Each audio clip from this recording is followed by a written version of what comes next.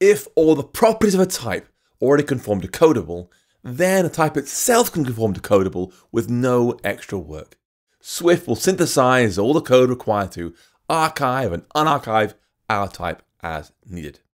However, things are a little bit trickier when working with classes R using the observable macro because of the way it rewrites our code behind the scenes. To see this problem in action, let's write a simple observable class here that has a single property called name. I'll say at observable class user conforms to codable and has a single property called name with a default value of Taylor. Just make our life easier.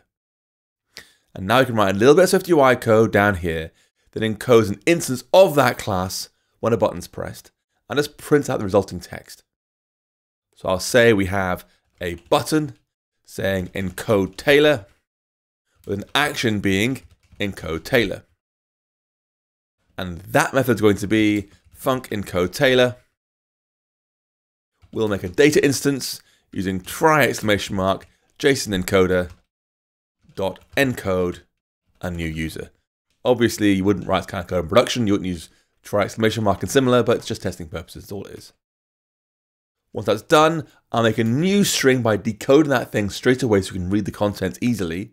I'll say string decoding that data as utf8.self and simply print out that string. So we can see uh, what the thing actually looks like in JSON form. I'll choose iPhone 15 Pro, press Command R, and run the code back. So again, simple observable class here with one property. A button to encode an instance of it straight away, and the data encoding it and just printing out the JSON we get back. Let's press the button.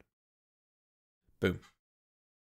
So what you'll see might be unexpected. We're seeing name Taylor's here, but it's underscore name rather than name.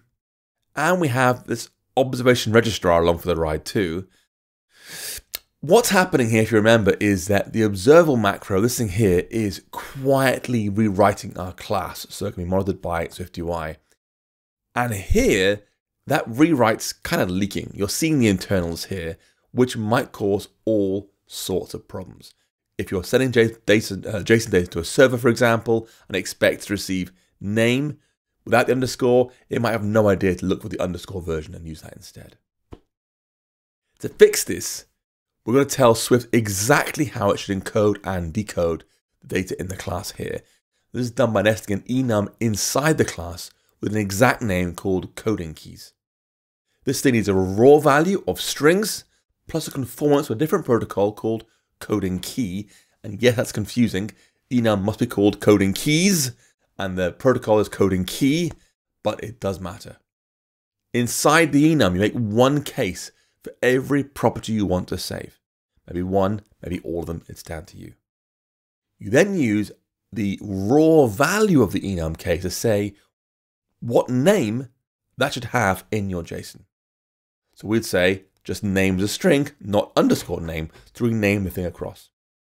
And so, for example, in here we might say there's an enum called coding keys with a raw value string and uh, a coding key conformance. And I'll say when you see underscore name, when you plan to write the underscore name value out, I can see it's doing right here, don't do that. Use the name name. No underscore here. So when you see this value, reading or writing it, actually make it this value instead. So let's press Command R and give it a try. I'll press encode Taylor again. And boom, we get what we expect in the first place. Just name Taylor. So no more underscore, no more observation registrar along for the ride. And this key mapping works both ways. So that if we receive some JSON in the future, and it's just called name like this, internally Swift will say, aha, that's mapped to my underscore name rewritten variable behind the scenes.